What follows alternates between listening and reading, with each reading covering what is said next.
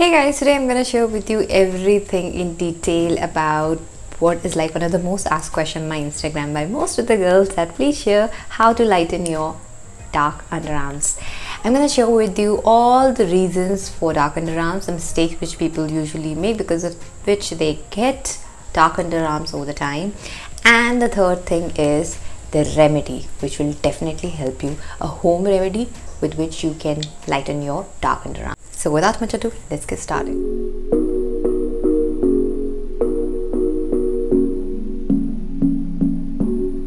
Hey guys, welcome or welcome back. So uh, first of all, I will mention a timestamp like if you want to go ahead with the remedy directly you can jump to that timestamp so for the timestamp you can check the description box so first of all let's start with the reasons for dark underarms basically reasons मैं आपको इसलिए पहले बता रही हूँ because हर किसी के लिए होम रेमेडी काम नहीं आएगी so that's why you must know the reasons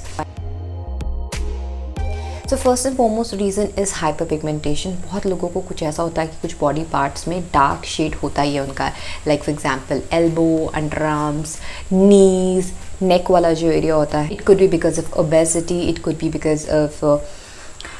diabetes बहुत सारे रीजंस हैं so you can go and consult your doctor they might help you better with this now the second reason is hormonal issues like thyroid or pcod not in all the cases but in certain cases it might happen because of those reasons also, you can get certain parts, your certain part of the body can be darker.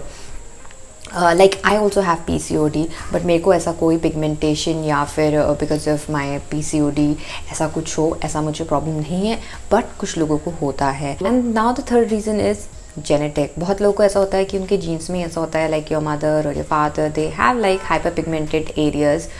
elbow हो गया knees हो गया neck हो गया because of that like और body part से, ये वाले बॉडी पार्ट जो होते हैं, वो डार्कर होते हैं बहुत से लोगों को ऐसा मतलब हेडिट्री होता है कि हाँ आपके पेरेंट्स के भी थे that's why you also have अगर इनमें से अफॉर्म मैंशन जो भी मैंने आपको बताया है रीजन अगर इनमें से आपको कोई भी चीज़ें नहीं हैं but still you have underarms dark patch under in your underarms then it could be because of the mistakes which people make.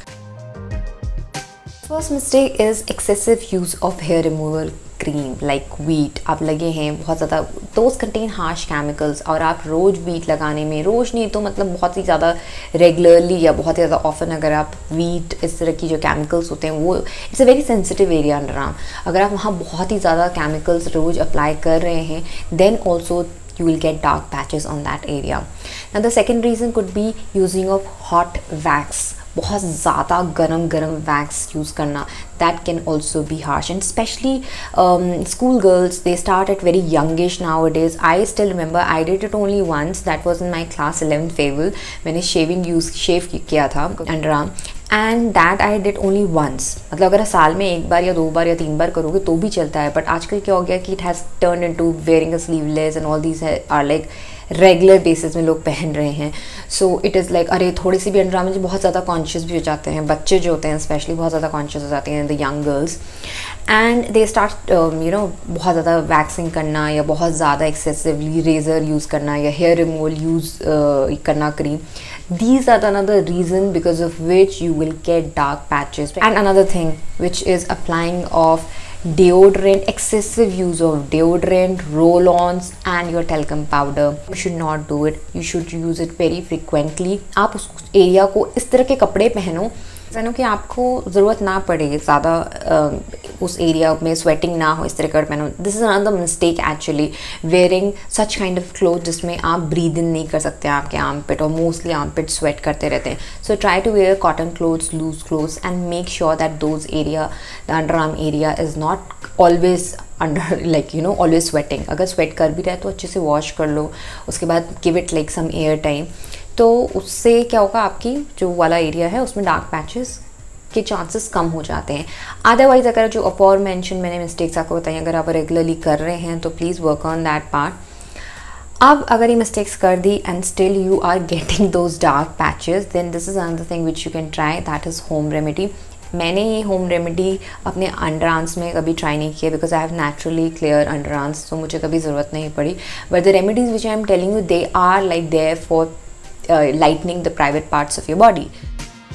So, first remedy is using coconut oil, एक चम्मच coconut oil, एक चम्मच raw milk, एक चम्मच aloe vera gel और थोड़ा सा उस पर बेकिंग सोडा ऐड करना है। और उसका पेस्ट बना के आपको अपने अंड्राम से अप्लाई करना है।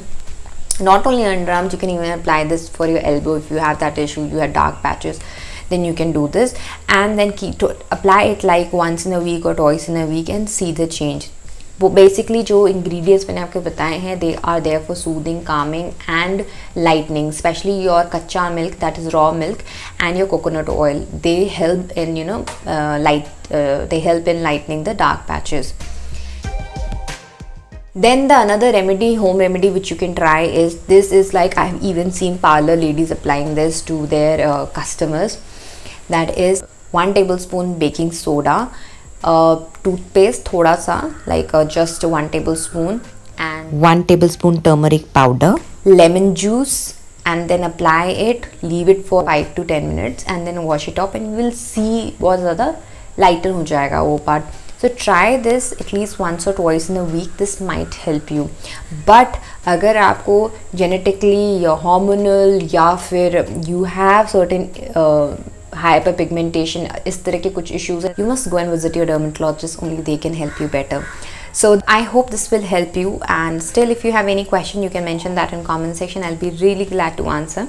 and that's it for today i'll catch you next time with some other story till then you take care of yourself you stay fit and stay happy ta ta da